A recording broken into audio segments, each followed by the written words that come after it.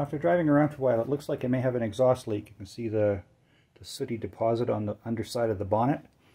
Uh, so I'm going to take the intake manifold off and down to the heat shield.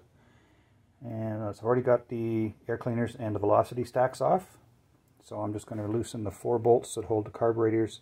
And I'm going to try and slide the whole thing back in one piece so I don't have to disconnect any of the cables or hoses or whatever, other than the, uh, the uh, PCV uh, pipe um, that goes into here.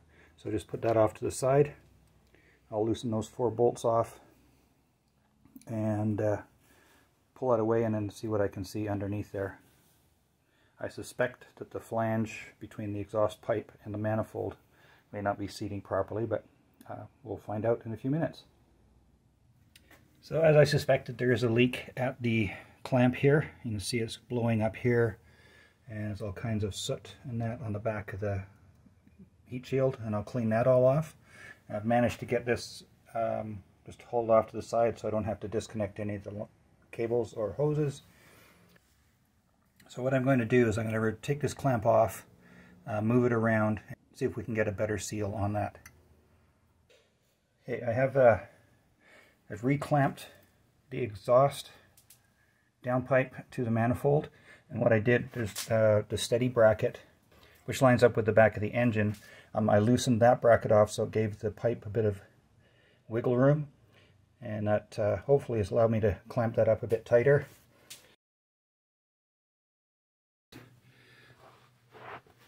And there's the clamp that goes around the pipe and mounts to the front face of this bracket.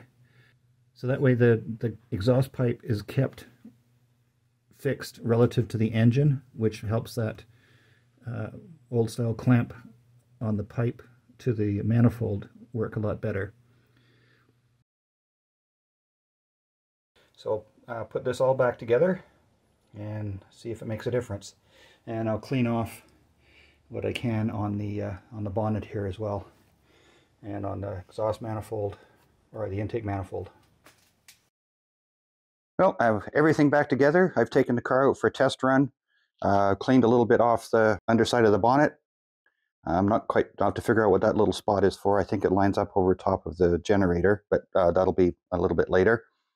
Uh, but for now, I'm really happy. The exhaust is sealed up down here, and so we're ready to move on uh, to the next project. Well, I've been thoroughly enjoying the car over the last little while here, and I've put close to 700 miles on it since the middle of July. It's now middle of October. So one of the things I need to do now is uh, change the oil, uh, double check all the other fluids. I'm going to adjust the rear brakes. I still have a few nice days. I'm going to be able to drive the car uh, before the snow sets in. Uh, so I want to have it uh, basically good and ready uh, to put up for the winter. And there's a few other things that will get addressed. And one of those uh, you've already seen with the fixing the exhaust leak at the manifold. So I'm just going to check all the fluids, change the, uh, the engine oil. I might even change the rear axle oil, mostly because the, the car had been sitting for quite a number of years with the old oil in there. Uh, it's not making any noises or anything that it should or shouldn't. Uh, there are a couple of little noises at the front I want to see if I can figure out the source of. But other than that, I'm very happy with how the cars run.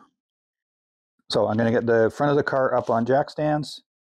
I'll actually actually run it for a little bit to warm it up. And I don't know if you heard that or not, but that was a squirrel running across the roof of the the uh, garage. Anyway, I'm going to warm up the engine, uh, just get the oil circulating, and that, and do a proper oil change. And as you will have seen in one of my much earlier videos on the uh, engine, and it's kind of hard to see right now, but I do have a spin-on filter conversion kit uh, installed on the car, which will make things a lot cleaner and a lot easier to, to do the job. Well, here's a bit of a tip for jacking up the front of your car or your bug eye. Uh, this is a box section that goes across between the frame rails. And temptation is just to jack up in the middle of that. And that's not really recommended, otherwise you'll just dent the bottom of it and possibly put a hole in it. So what I've done here, and is what's recommended, is use a piece of wood that goes from frame rail to frame rail, and use that uh, to jack the front of the car up. And then I've got the jack stands um, are just going to be underneath where the sway bar would mount. And that way I know the car is really secure and is not going to go anywhere it's not supposed to. Okay, I have the oil drained. I have the new uh, filter in place. You can see just down here. Uh, plug back in. I haven't put the oil in just yet. But uh, in keeping with the econo side of the garage, I do all my own oil changes on all our vehicles. And uh, this time with my oil drain pan, and I have a like a five gallon bucket. I put the old filters and the oil in there. And then in Calgary, you can go to the landfill sites and they have a free drop off uh, for this kind of stuff. So I can take all of the empty uh, cans, uh, oil bottles, all that kind of stuff up to the dump or to the landfill and uh, just drop it off there at no charge. It does take some time, obviously. So this way I can uh, keep my costs down and it takes me an hour or so to go to the nearest landfill and, and drop this off. Or I put the bucket itself inside a garbage bag and then secure it in, in the back of whatever vehicle I'm taking. I won't be taking the bug eye to do that, of course. Yeah, so that's that's how I save money on oil changes. So also I look for oil on sale for any of our vehicles and same for filters and just buy that at the best price I can. And that helps me save money um, in the long run.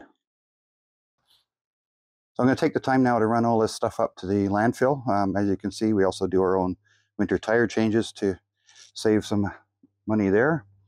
Uh, so we'll get the back of the car opened up.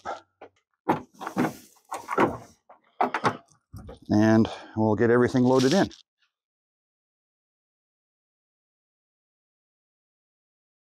So here we go. Here's at the dump site. Just dump all the oil there. Paint cans and stuff go down in there. Any antifreeze uh, goes up in here. And all the old oil containers will just go in this bucket right here. And so I've got that all done. I'm just going to head out. And again, that uh, and all that's for no charge. Well, that wraps up this week's episode. Thanks for joining me. If you enjoyed the video, please be sure to share it with your friends. Hit the like button, hit the subscribe button, and don't forget that little bell icon. Click on that and you'll get notified when the next video comes out. And that next video will be out in a couple of weeks. If you'd like to get a hold of me directly, you can do so at the email address I'll put at the bottom of the screen, and that will also be in the description below. My name is Ian. This is the Econobox Garage, and we'll see you next time. Me, me.